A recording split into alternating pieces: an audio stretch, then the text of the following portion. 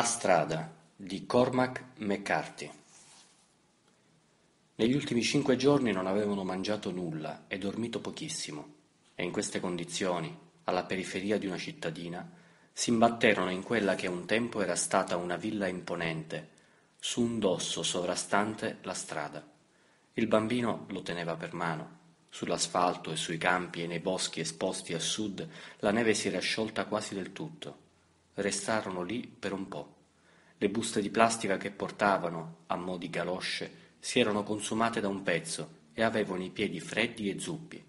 La villa si ergeva alta e maestosa, con una fila di colonne doriche bianche lungo la facciata, un portico per le carrozze su un lato, un viale d'accesso coperto di ghiaia che serpeggiava in mezzo a un prato di erba morta. Le finestre erano stranamente intatte. Papà, cos'è questo posto? Shh, fermiamoci qui ad ascoltare. Non si sentiva niente. Il vento che stormiva tra le felci morte al lato della strada, un cigoglio lontano, una porta o un'anta. Credo che dovremmo dare un'occhiata. Papà, non andiamoci lassù, stai tranquillo. Secondo me non ci dobbiamo andare. Tranquillo, diamo solo un'occhiata. Risalirono lentamente il viale. Sulle rade chiazze di neve semidisciolta, nessuna traccia. Un'alta siepe di ligustro morto, un nido vecchio di chissà quanto incastrato nell'intrico oscuro dei rami. Si fermarono nel cortile a osservare la facciata. I mattoni artigianali erano stati ricavati dalla stessa terra su cui si ergeva la villa. La vernice scrostata penzolava in lunghe bave secche dalle colonne e dagli architravi incurvati, un lampadario appeso a una lunga catena. Salì le scale della veranda con il bambino aggrappato a sé. Una delle finestre era socchiusa e dall'apertura usciva uno spago che tagliava la veranda e scompariva nell'erba. L'uomo prese il bambino per mano e attraversarono la veranda. Un tempo gli schiavi della casa avevano calpestato quelle assi con cibo e bevande su vassoi d'argento. Si avvicinarono alla finestra e l'uomo guardò all'interno. Papà, e se c'è qualcuno? Non c'è nessuno qui. È meglio che andiamo via, papà. Dobbiamo trovare qualcosa da mangiare, non abbiamo scelta. Magari troviamo qualcosa da qualche altra parte. Andrà tutto bene, muoviamoci. Si sfilò la pistola dalla cintura e provò ad aprire la porta che ruotò lentamente sui grossi cardini di ottone. Rimasero in ascolto, poi entrarono in un ampio vestibolo con una scacchiera di piastrelle di marmo bianche e nere sul pavimento, una larga scalinata che portava al piano di sopra, raffinata tappezzeria Morris alle pareti, cascante e gonfia di umidità. L'intonaco del soffitto era dissennato di grosse bolle panciute e la modanatura dentellata in cima alle pareti, ormai gialla, sporgeva in fuori, tutta ricurva. Sulla sinistra, oltre una porta, si intravedeva una grande credenza di noce in quella che doveva essere stata la sala da pranzo. Le ante e i cassetti erano spariti, ma il resto del mobile era troppo massiccio per farci legna da ardere. Rimasero sulla soglia. In un angolo della stanza c'era un enorme mucchio di vestiti, abiti e scarpe cinture, cappotti, coperte e vecchi sacchi a pelo. In seguito ci sarebbe stato tutto il tempo per pensarci su. Il bambino era appeso alla sua mano, terrorizzato. Attraversarono l'ingresso fino alla stanza sull'altro lato, entrarono e si fermarono. Una grande sala con i soffitti alti, il doppio delle porte, un caminetto con i mattoni grezzi a nudo nei punti in cui la mensola e la cornice erano state staccate per alimentarci il fuoco, a terra, davanti al focolare, erano disposti materassi e coperte. Papà! sussurrò il bambino. Shh! fece lui.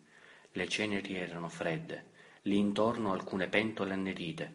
L'uomo si accovacciò sui talloni, ne raccolse una, la annusò e la rimise dov'era. Si alzò e guardò fuori dalla finestra. Erba grigia calpestata, neve grigia. Lo spago che entrava dalla finestra era legato a una capa- campana di ottone e la campana era attaccata a una rozza mascherina di legno inchiodata alla cornice della finestra. Sempre tenendosi per mano, percorsero un corridoietto di servizio che portava alla cucina, montagne di rifiuti ovunque, un lavandino incrostato di ruggine, tanfo di muffa e di escrementi. Passarono nella stanzetta adiacente, forse una dispensa. Sul pavimento della stanza c'era una porta, o meglio una botola, chiusa con un grosso lucchetto fatto di piastre d'acciaio impilate l'una sull'altra. L'uomo rimase a guardarlo. Papà, disse il bambino, papà, adesso è meglio che andiamo. Se questa è chiusa ci sarà un motivo. Il bambino gli strattonò la mano. Stava per mettersi a piangere. Papà, disse, dobbiamo mangiare. Non ho fame, papà, davvero. Dobbiamo trovare un piede di porco o qualcosa del genere. Uscì dalla porta sul retro con il bambino che ancora gli stava attaccato, si ficcò la pistola alla cintura e diede un'occhiata in giro. C'era un vialetto di mattoni e la sagoma ritorta e rigida di quella che un tempo era stata una siepe di posso. Nel cortile c'era un vecchio erpice di ferro, appoggiato su pile di mattoni, fra i cui denti qualcuno aveva incastrato un calderone di ferro battuto da centocinquanta litri, di quelli che un tempo si usavano per sciogliere il grasso di maiale. Sotto c'erano le ceneri di un fuoco e qualche pezzo di legno annerito. Poco più in là un carretto con le ruote di gomma. Tutte queste cose l'uomo le vide e non le vide. Dall'altro capo del cortile c'erano un vecchio affumicatoio di legno e un capanno per gli attrezzi. Si diresse da quella parte, trascinandosi il bambino quasi di peso, e frugò in mezzo agli attrezzi dentro un barile sotto il tetto del capanno tirò fuori una vanga e se la soppesò fra le mani. Andiamo, disse.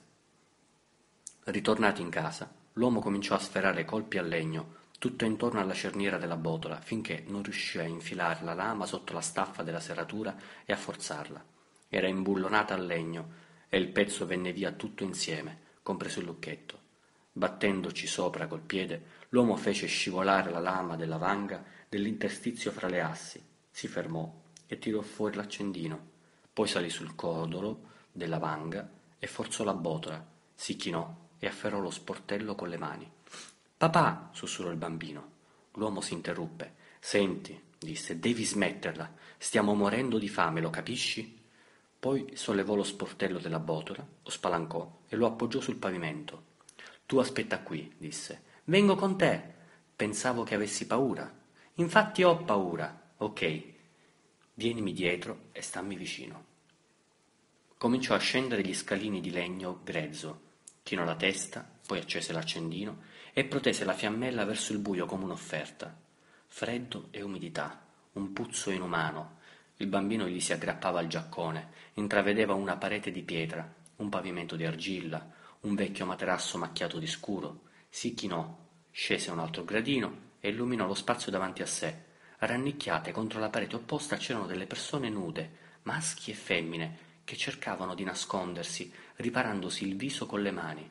Sul materasso era steso un individuo con le gambe amputate fino ai fianchi e i moncherini anneriti e bruciati. L'odore era micidiale. Gesù, sussurrò l'uomo. Uno dopo l'altro i prigionieri si voltarono, battendo le palpebre per quel barlume di luce. Aiuto, mormorarono. La prego, ci aiuti. Cristo, disse lui, oh Cristo. Si voltò e afferrò il bambino. Svelto, disse, svelto. L'accendino gli era caduto. Non c'era tempo per cercarlo. Spinse il bambino su per le scale. Aiuto, imploravano quelli. Svelto! Ai piedi delle scale apparve un volto barbuto. Ti prego, gridò battendo le palpebre. Ti prego. Svelto, svelto per l'amor di Dio. Spinse il bambino fuori della botola facendolo cadere a terra. Uscì, afferrò lo sportello, lo richiuse brutalmente e si voltò per raccogliere il bambino, che però si era già rialzato e stava facendo il suo solito balletto del terrore. Per l'amor di Dio, muoviti! gli sibilò. Ma il bambino stava puntando il dito verso la finestra e quando l'uomo guardò fuori si sentì gelare il sangue. Quattro individui barbuti e due donne stavano attraversando il prato diretti verso la casa. Afferrò la mano del bambino. Cristo, disse, corri, corri. Attraversarono di corsa la casa, fino alla porta d'ingresso, e si precipitarono giù dalle scale. A metà del viale l'uomo trascinò il bambino nel prato. Si guardò alle spalle. Erano parzialmente nascosti dai resti del ligustro, ma sapeva che avevano a disposizione solo qualche minuto, forse neanche quello.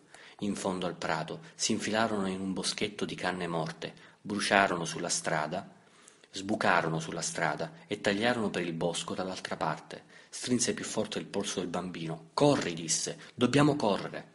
Guardò verso la casa, ma non riusciva a vedere nulla. Se quelli fossero scesi lungo il viale, li avrebbero visti scappare in mezzo agli alberi. Questo è il momento, questo è il momento. Si buttò a terra e tirò a sé il bambino. Shh, gli disse, shh. Ci ammazzeranno, papà, shh. Rimasero stesi in mezzo alle foglie e alla cenere, con il cuore che batteva all'impazzata. Lui stava per cominciare a tossire. Avrebbe voluto mettersi la mano davanti alla bocca, ma una gliela stringeva il bambino e non l'avrebbe mollata, nell'altra teneva la pistola. Doveva concentrarsi per trattenere la tosse e al tempo stesso cercava di tendere l'orecchio. Ruotò il mento tra le foglie, tentando di vedere qualcosa. Sta giù con la testa, sussurrò. Stanno arrivando? No. Strisciarono lentamente verso quello che sembrava un avvallamento. L'uomo rimase in ascolto stringendo a sé il bambino. Li sentiva parlare, sulla strada, la voce di una donna, poi li sentì passare sulle foglie secche, afferrò la mano del bambino e ci ficcò la pistola. Prendila, sussurrò, prendila. Il bambino era terrorizzato. Lui lo abbracciò e lo tenne stretto. Era così magro. Non aver paura, gli disse. Se ti trovano, lo devi fare. Hai capito? Shh, non piangere, mi ascolti? Lo sai come si fa. Te la metti in bocca, la punti su, veloce e deciso. Hai capito? Smettila di piangere, hai capito? Penso di sì. No, hai capito? Sì. Di di sì, papà, ho capito. Sì, papà, ho capito. Lui abbassò gli occhi e lo guardò. Vide solo terrore. Gli tolse la pistola. No che non hai capito, disse. Non so cosa fare, papà. Non so cosa fare. Tu dove sarai? Stai tranquillo. Non so cosa fare. Shh, io sono qui, non ti lascio. Me lo prometti? Sì, te lo prometto. Volevo scappare per cercare di distrarli ma non ti posso lasciare. Papà, shh, sta giù, ho tanta paura, shh. Rimasero a terra in ascolto. Ce la farai? Quando sarà il momento? Quando sarà il momento non ci sarà tempo. E questo è il momento. Bestemmia Dio e muori. E se si inceppa, non può incepparsi, ma se si inceppa, saresti capace di fracassare quel cranio adorato con un sasso? C'è un essere simile dentro di te, di cui tu non sai nulla, ci può essere? Tienilo stretto. Ecco, così. L'anima è un soffio. Abbraccialo, bacialo, svelto. Aspettò.